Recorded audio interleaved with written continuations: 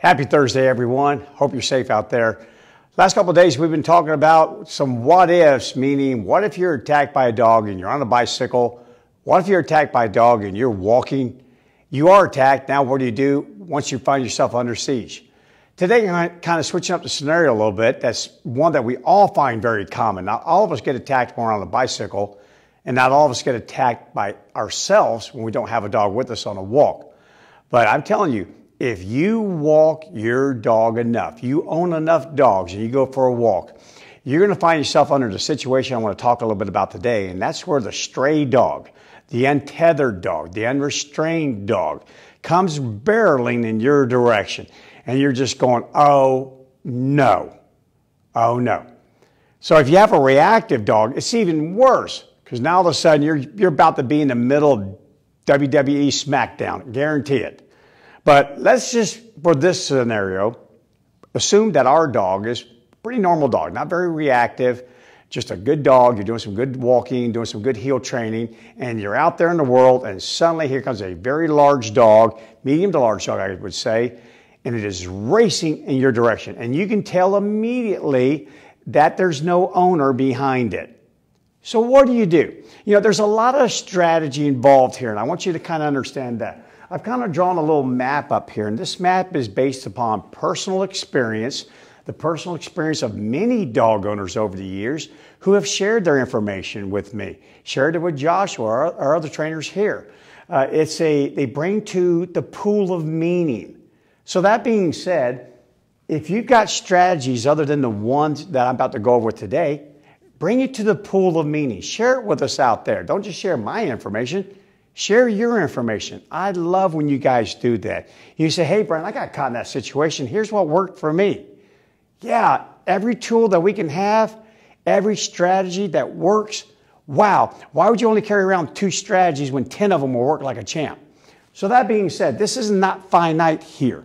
This is, this is just what has worked for me in particular situations and what has worked for a lot of my clients uh, be, before they were my clients and for a lot of my friends who also own dogs. So here's a couple of things here, just kind of going with nature itself. Anytime I find myself in a situation in which an animal is moving in my direction, soon as I know that, I now have some information. There's an animal moving in my direction. Okay, so now, like I told you, what is it? That's a dog. Does the dog have an owner? No, I don't see an owner. And sometimes these, this little assessment is happening in milliseconds, really rapid fire. Sometimes you get a little bit more time.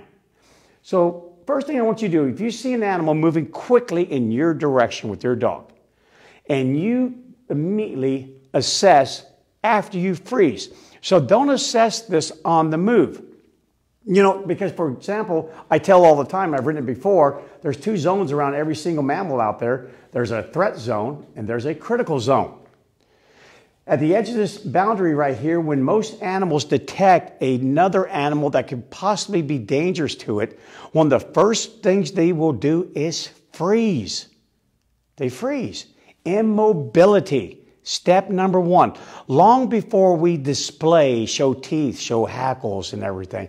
No, we freeze because we inherently understand the abilities of this other, other animal, having more rods than cones in their eyes being able to detect movement from a great distance.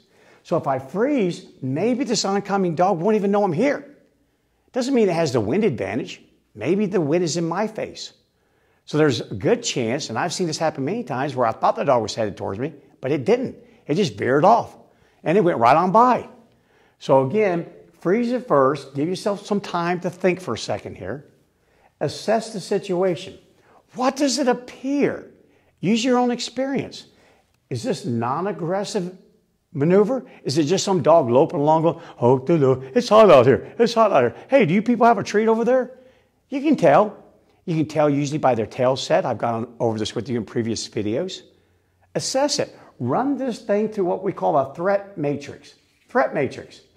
Is there a threat at all? Identification friend or foe? Do we have a friend dog moving in our direction? Or do we have a possible foe? And if it's a foe, that means it's a threat. And if it is a threat, is it a high, medium, or low threat? A lot of that can be determined by the determination of the animal itself. How's it coming? Is it staring dead at you? Are the ears back? Is that tail up?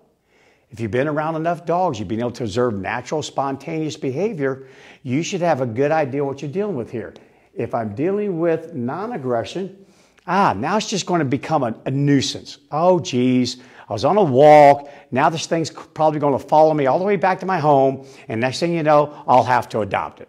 So it just becomes something like that. I've heard that story 50 million times. You probably have as well. Yeah, I was out for a walk, and next thing you know, this dog started following me, and now all of a sudden it decided to camp out at my house. So that's how I ended up with the dog brain. Good for you. Hope it all worked out. Way to go. But let's say, no, it's not the friendly dog. This dog is coming at you with a purpose. And we've talked about what those purposes are, what they are something competitive something territorial. So that animal is moving in your direction with a purpose. Now, I have noticed one thing.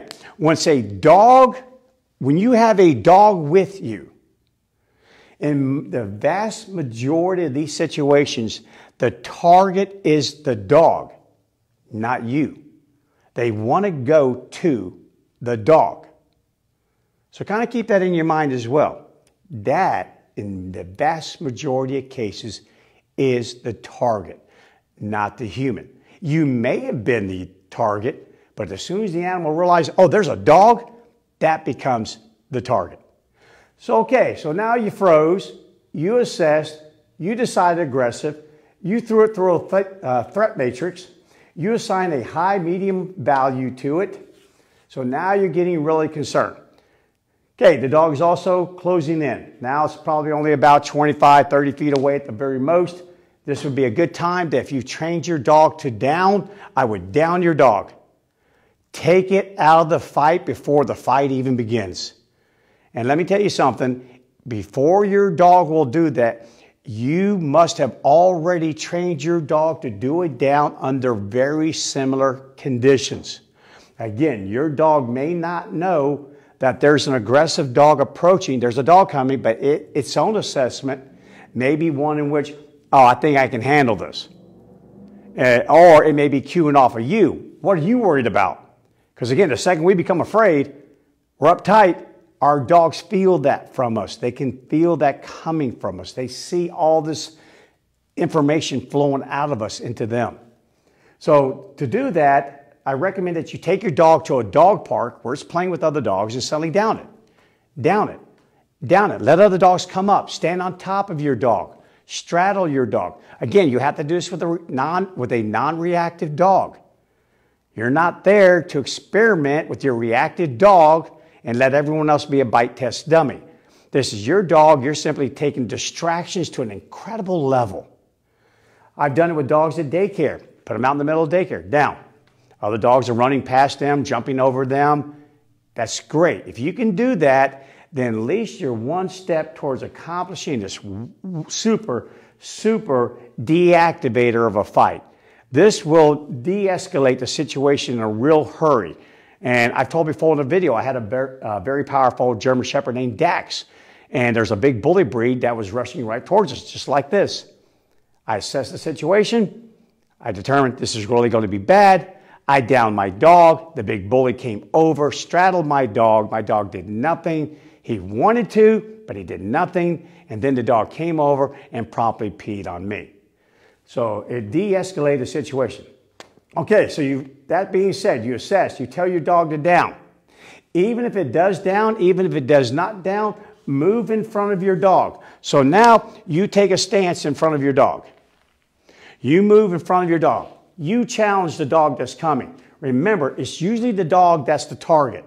They think it's easy pickings. I can just go straight to that dog. Most of these dogs like this that are coming towards you have never dealt with someone like you. You step in front and go, no. You challenge that animal. Challenge it. You suddenly turn into a bear.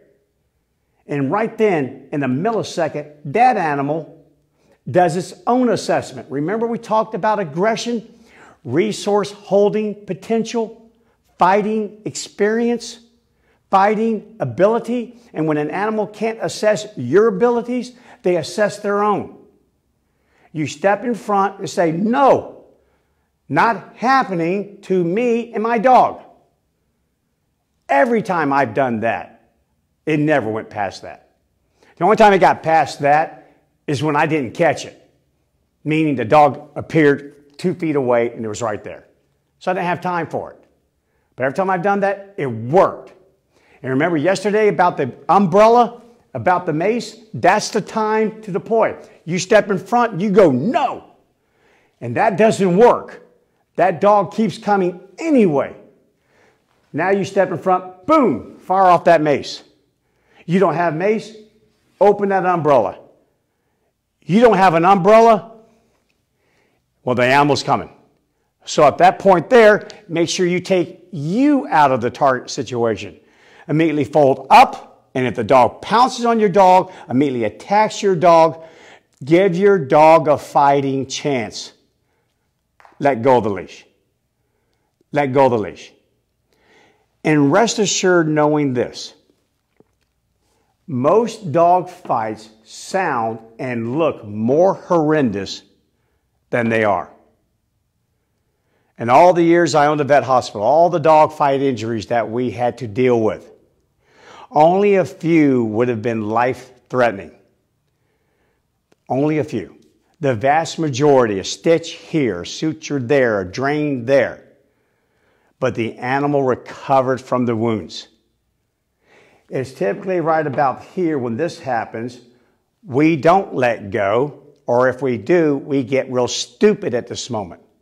And we throw ourselves on a grenade. We reach in there.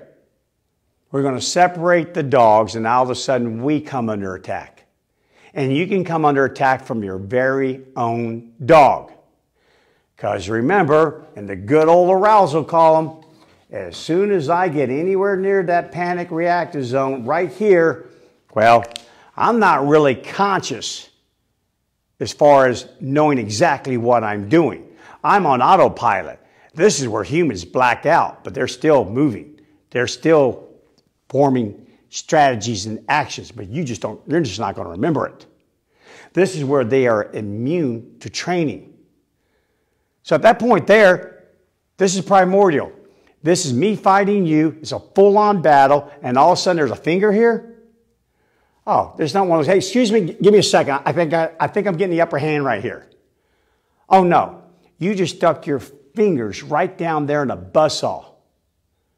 And even if you start to pull one animal off, you throw them into self defense aggression. So now they turn and attack you. And your dog's fine. Yeah, it's got a little chip out of its ear, maybe, maybe a little slash here. But you, you're dead, crippled, disabled. Absolutely. So think, guys, use your brain here. Let go of the leash. I know it's hard. But it's the best strategy right now. Remember, everything else has failed. We had many other things that have go in our favor. This is your worst case scenario right here. It's what you're dealing with. So the chips are down. Everything failed. Now it's time to at least save yourself. We already had that discussion. What do you mean to everyone else? What role do you play in this world? Save yourself and trust in the fact that most dog fights look and sound horrendous, but it's usually over in no time at all, or at least it de escalates to a point to where now maybe you might be able to try something else. Something else. Loop a leash around the other dog's hind end, pull, all sorts of little things. But that's usually with a breed that's just going to grab and not let go. But I found out, even with those breeds, they don't chomp down, they just grab and they don't let go. But when everything de escalates, they tend to let go. So, all that being said, just in quick review, you see something coming, freeze, assess, threatening, non threatening, threatening. How bad is it threatening? what kind of threat is this? A high or medium threat? Oh no. Tell your dog to down. Take your dog out of the fight. Even if your dog doesn't down, move in front of your dog. Remember, obstacles are deterrent to aggression. Give that dog a big obstacle. It's called you. You with an attitude. You saying, hey, I'm a bear. Meet me. You're not going to attack me and you're not going to attack my dog. And you come across very convincingly. That fails. That's dogs attacked more than a few bears. It keeps coming. Deploy your mace right then. Deploy your umbrella if you have it. You're pulling for your mace. The dog rushes right past you. It's way faster than what you anticipated. It launches onto your dog. Pull your mace and mace them both. Fire right in there, right between them. Right there in the, right in the face. Both of them. Yeah. Okay? They'll stop the fight. They'll stop it right then. Your dog will recover. That dog will recover. And if it happened to ricochet and come up and get you, you will recover. But that's far less than what can happen if it continues. You don't have any of that, let go of your leash. Give your dog a chance to act naturally. Give it a chance to say, Uncle. Give it a chance to do its own curl up and cover up. It knows what to do. It's biologically prepared learning. You don't have to teach it what to do in that situation. You just have to give it the ability to do it. And when it's all restrained on a leash and you're freaking out, and you're yanking and pulling, your dog who wants to submit is suddenly being pulled higher than the other animal, and the other animal thinks, oh, geez, I guess you're not going to submit. Well, I was, but I can't. I didn't mean to get on top of you, but my owner yanked me on top of you. Let go of the leash. When it was in the womb, it knew what to do in this situation. Trust that. Let your dog do what it needs to do. And you stay safe. Okay, guys, last couple days been some dark stuff here to cover, but you got to cover it. You got to talk about it. Because we don't live in a land of just unicorns and fairy tales and things like that. It's the real world. Dogs do run around loose. They are, they have unfettered access to us. They do. So many do. And if you ride long enough, you walk long enough, you walk your dog long enough, you could possibly encounter a situation like this. Be ready for it. Train your brain. I'm ready for it. Be looking for it. Enjoy your walk. You can tell when there's nothing around, but you start getting into a densely populated area, I know. I have predictive information. I'm ready to go. Be ready. Don't walk out there. You want to walk and take a coat with you, it's got pockets in it, then have your mace in it. Even if it's a 50% chance of rain, have your umbrella. Take it with you. Go on your walk. No, I'm ready to go. And if it all goes south, I'm going to let go. And pray at that point that it'll all work out. Because it will. In vast majority of cases, it does. Okay, guys, that's it for today. If you found this information beneficial to you, you know what to do. Please share it with someone so everyone can remain safe. And as always, if you have a question, send them to me. Drop them down that thread or send them to me with Bryan and Y at tamingthewild.com. Stay safe out there, and I'll check in with you guys tomorrow.